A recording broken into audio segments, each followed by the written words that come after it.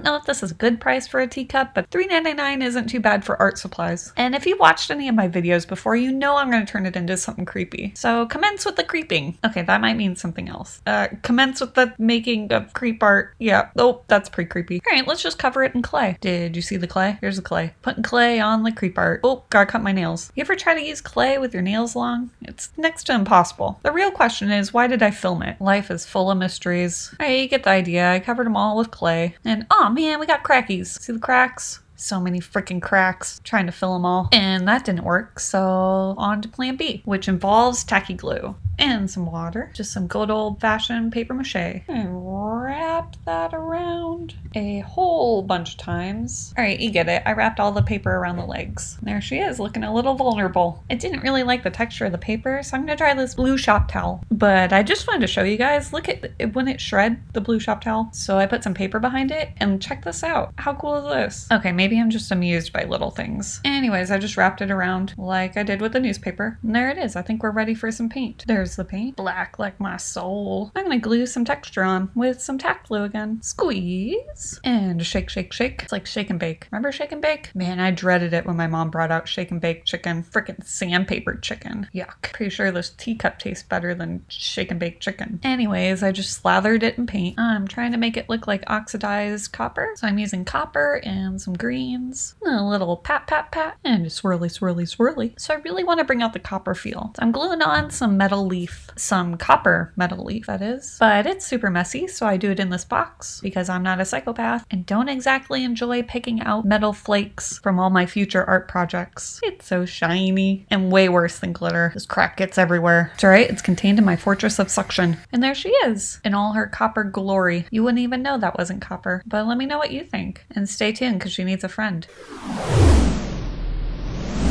Okay, listen up about this teapot for $4.99. And of course, I'm to do something creepy with it. And why do they make these stickers so hard to come off? Come on, guys. All right, almost got. Uh, ah, I almost got it. Come on. Really? Ugh. Of course, I got to sand it. Let's go a little bigger. There, good enough. Now I'm using this wire to add legs. That's right. My teapot's to have legs. Hey, I warned you guys it was to be creepy. Okay, ready for this? Glue, stick. Glue, stick. Glue, stick. Glue, stick. Glue, stick. Glue, stick glue stick, glue stick, glue.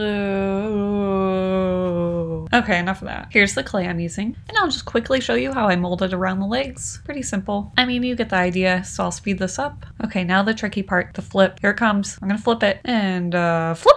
And bam! Look at that creepy teapot. Ooh, it's so creepy. Oh man, it cracked. Commence with the fixing. I sort of feel like a doctor here. Anybody need a cast? Okay, now I got a spray paint. Unfortunately, I used this gold, but I ended up spray painting it black later. Oh, see, now I'm using black. The gold just wasn't creepy enough. But here's the fun part. No, that's not a cloud. I'm trying to make oxidized copper, or rather make it look like oxidized copper. So I'm adding some greens and some copper tones and drying it with a heat gun, of course. Ooh, look how pretty that is. Smack, smack, smack. It's looking good, but it could use some more copper. So I'm gonna gold leaf, or rather copper leaf, some metal foil onto the side. My bad, it's bronze. I'm bronzing. Mm, I think bronzing is actually something different. This is just slapping some foil on, but it makes a huge mess. So I'm doing it inside this box. Sort of. I guess I'm holding it above this. Whoa, what am I doing? Stop. Did you see all that stuff fly off? It's okay, I got my handy dandy dustbuster. Oh, that's so pretty. And slightly creepy. What do you guys think? Not half bad for $4.99 at a thrift store. Yeah, I made him a friend.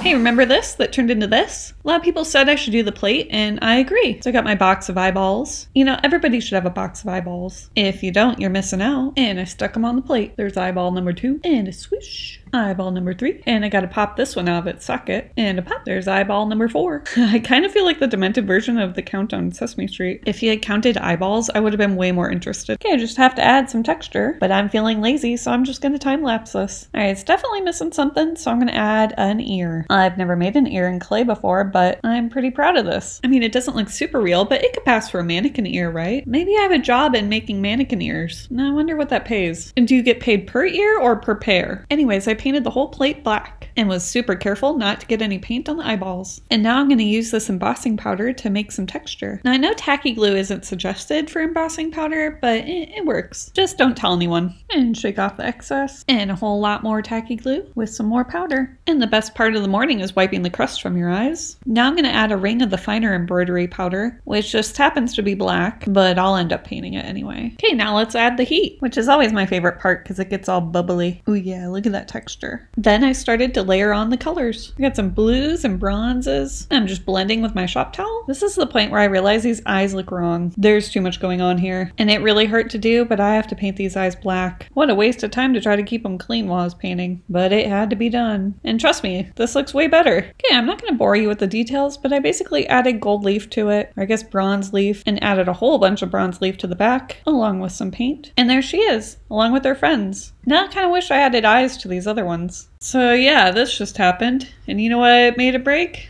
This little jerk. You know, you're lucky you're cute. Look at him trying to suck up.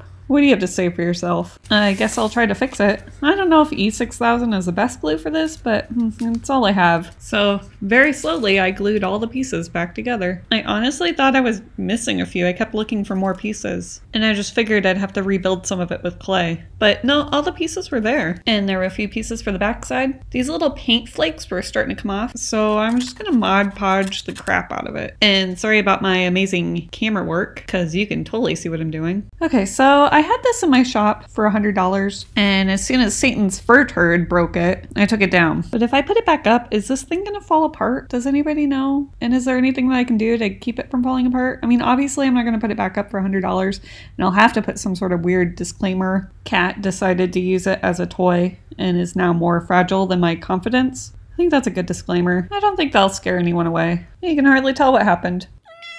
Stupid cat.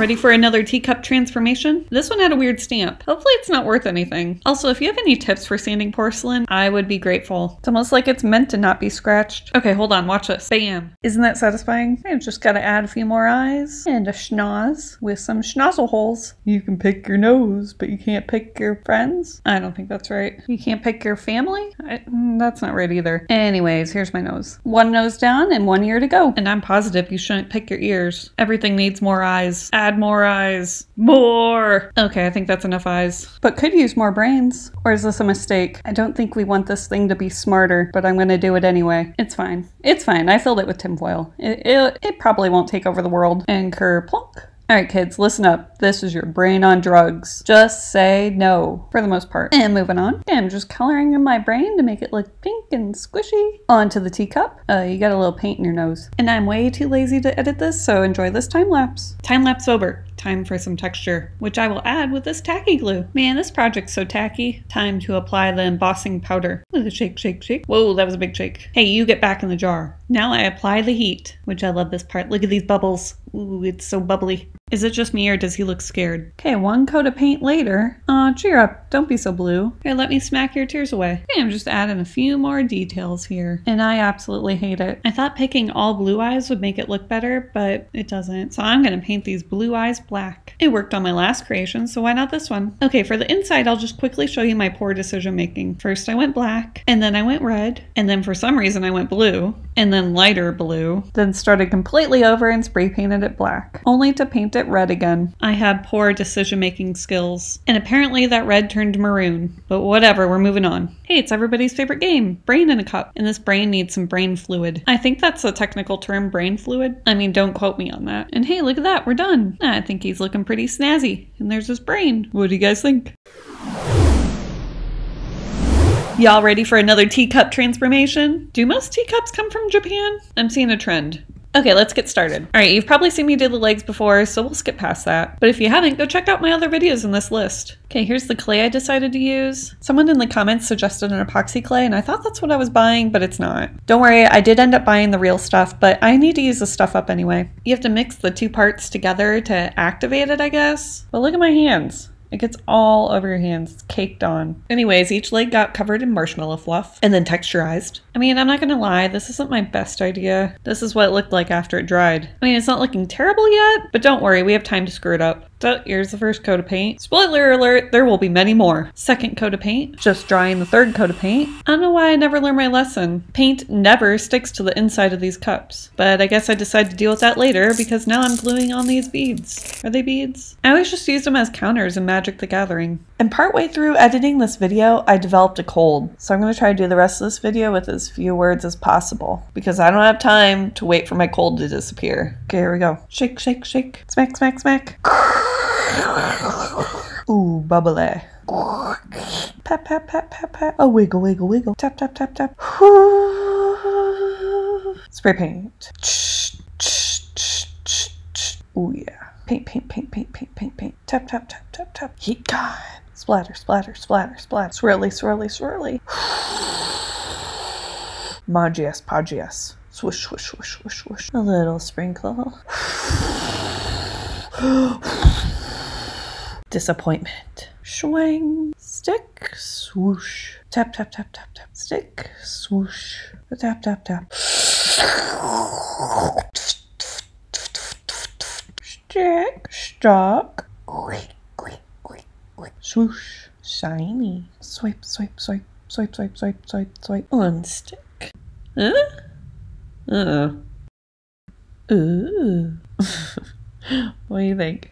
Okay, I hate this cup. The only thing to do is to change it, so I hate it less. Or at least let's change the inside, because that's boring. Okay, logic, octopus, water. Water equals octopus. Or octopus equals water. Anyways, let's add water to this cup, aka resin. And everything's better when it glows. That's glow in the dark powder. Get ready, here comes the pour. Oh yeah, look at that. And yes, I should be wearing gloves. Okay, we can't have boring water. So let's add the only plants that I know how to grow, painted ones. Because I'm gonna be real honest here, I can't grow a real plant to save my life. Okay, what else does this need? Fish. Definitely fish. Let's add the fish. And they were this really ugly yellow, so I painted them gold and super glued them in. All right, now that our pond is looking a little more alive, I guess it'd be an ocean. Let's cover these fish up so they can breathe. And then by accident, I found out that this heat gun makes all the bubbles go away. And a few more layers of plants and some more resin. Honestly, I don't know if I'm doing this move because it's fun or if it's necessary. Anyways, let's pop those bubbles. And we're definitely missing a boat, but this color isn't doing it for me. So let's repaint it. Okay, time to christen the water with this boat. Or are we christening the boat with the water? Actually, what does christen mean? I don't know. Okay, that does not matter. What do you think of my cup? Do you think it's an improvement? I think it's definitely better. Here it is in the dark. Alright, I have another teacup here that I plan on creepifying. This one has no markings, so no getting upset at me in the comments. You all act like there's not a million cups at Savers. Alright, let's get that pesky label off.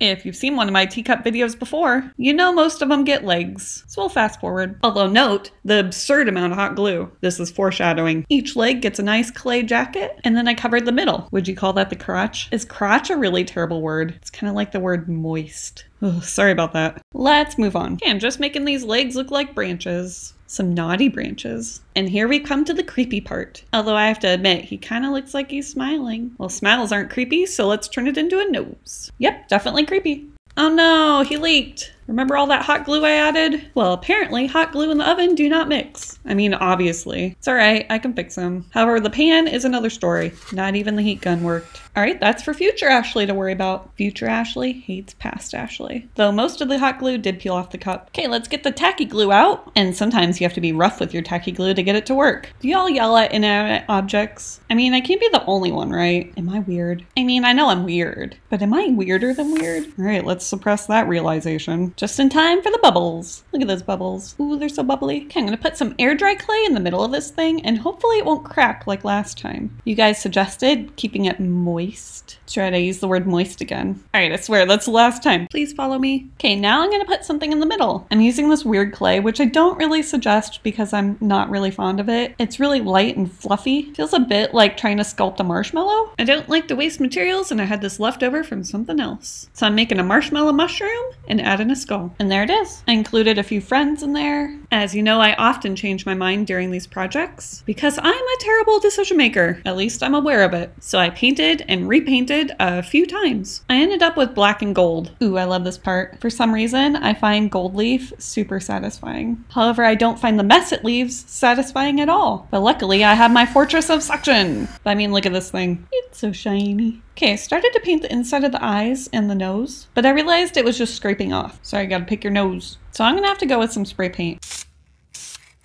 Okay, that's looking pretty ugly. Maybe some more paint and some more pepper. And don't forget to spank it. Okay, this is getting weird. Okay, let's heat it up. I'm just gonna add a few more gold details with this pen. It really makes it come to life. Like, look at this. Ooh. I mean, as much as a skull cup could come to life, I guess what I should have said is that it really makes it come to death. Yeah, I don't know. It makes it look better. Oh, can't forget the mushroom. All right, and here's the final product. Is this creepy? I think it's creepy. It's like death tea or forbidden tea, mushroom tea, death mushroom tea. It's official. If I had a band, I'd definitely call it that. Nobody steal my band name. It's mine. I called it TM.